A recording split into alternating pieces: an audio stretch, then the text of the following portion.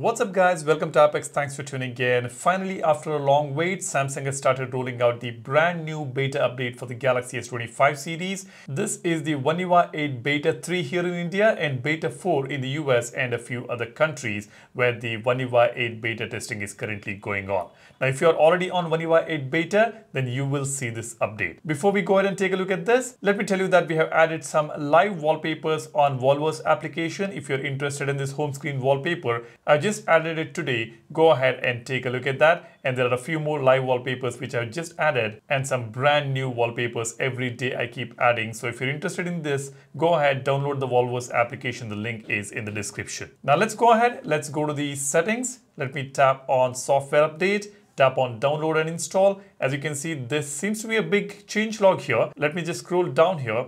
It says One UI version 8, Android 16, and the version number ends with ZYGB and the size is pretty huge 1328.16 MB and the security patch is July 2025. Now let's quickly take a look at the change log here. I have already gone through it and I don't see any new features being added here but there are many bugs that they have fixed First one is added Samsung IMS service emergency update feature to support high quality voice, video and enhanced chat services on Galaxy devices. With this, we can now get clearer and better audio quality on the voice calls. And if you're making a video call, you will get crisp and clear high definition videos which will be available when you make these calls over LTE. Basically your VoLTE calls and videos will get better with this addition. And then it says added support for full screen switching while playing videos using DeX. This is something which I need to test and I'll get back to you guys. Fixed an operational issue with Galaxy AI reply Fixed a loading issue when Bixby routine commands and triggers via voice. Fixed a display issue in the quick launch icon area on the lock screen. Fixed an issue with the editing iNavi dashcam videos in the gallery application,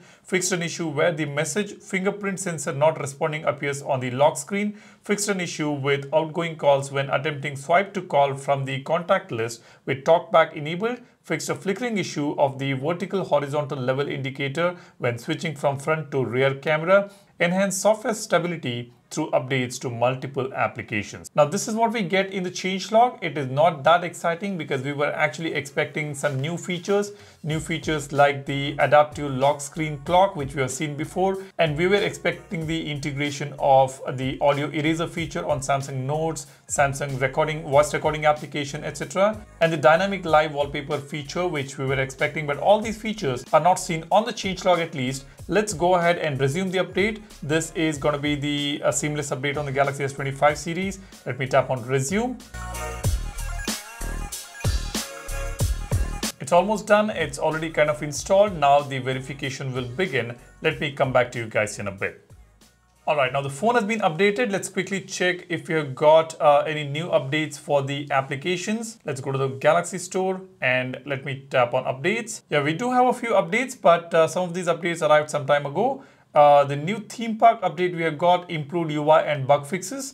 And uh, the new NotiStar uh, update we have supports One UI 8 and Samsung Health Monitor we have got an update and we also have Samsung Music application update. This update arrived uh, today morning itself and after updating One UI 8 Beta 3, these three updates I'm able to see now in the uh, Galaxy Store. Now let's open a few applications and check uh, how the phone is performing, whether it's stable or not. Let's see if there is any status or lag. Let's start with the notification panel. Here we go. We've got quick panel, notification panel. Let's switch right here. Now let's open a few applications here.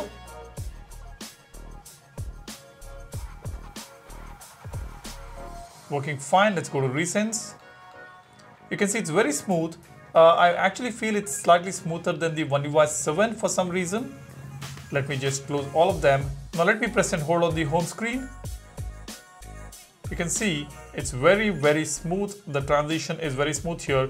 No stutters or lags over here. Now let's go to the settings here and let me tap on security and privacy. Let's check if we have got any other updates. Uh, google play system update is still may 2025 for the beta version of one ui 8 uh, Google has halted the Google Play system update for the devices on beta versions. So let's go ahead and see if we have got the new update here on the One UI uh, uh, 8 beta 3. It says uh, your device is up to date. So for uh, the devices running on One UI 8 beta 3 or whatever uh, beta version, you will not get the Google Play system update. As you can see, it's still in May 2025, whereas on the Galaxy S24 series and S23 series, we have already received July Play system update. Now let me tell you another change that we have seen on the One UI 8. Let me press and hold on the home screen, tap on wallpaper and style. Let's do that on the One UI 7 as well. And now let me tap on change wallpapers.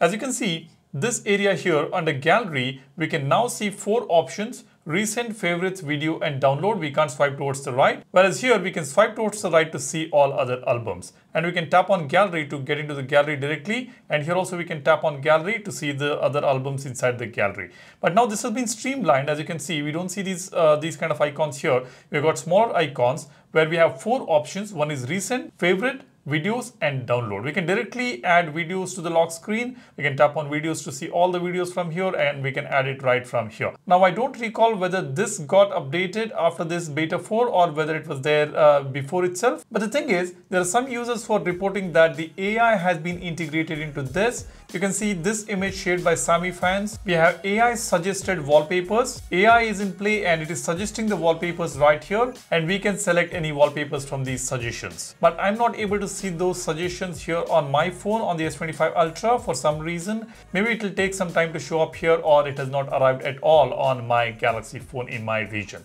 Not very sure about it. I will keep you guys posted anyways. Now the thing is, uh, it's been almost two months since the beta uh, testing started and even now we do not have the stable version of One UI 8 which is a bummer. I'm not sure why Samsung is delaying it so much. Z Fold 7 series launch is already done. Uh, the units have reached the customers and yet Samsung is struggling to update the Galaxy S25 series with this brand new update. I'm not sure what they're thinking. We just got the beta 4 and I'm not sure how many more weeks we will have to wait for the stable One UI 8 release.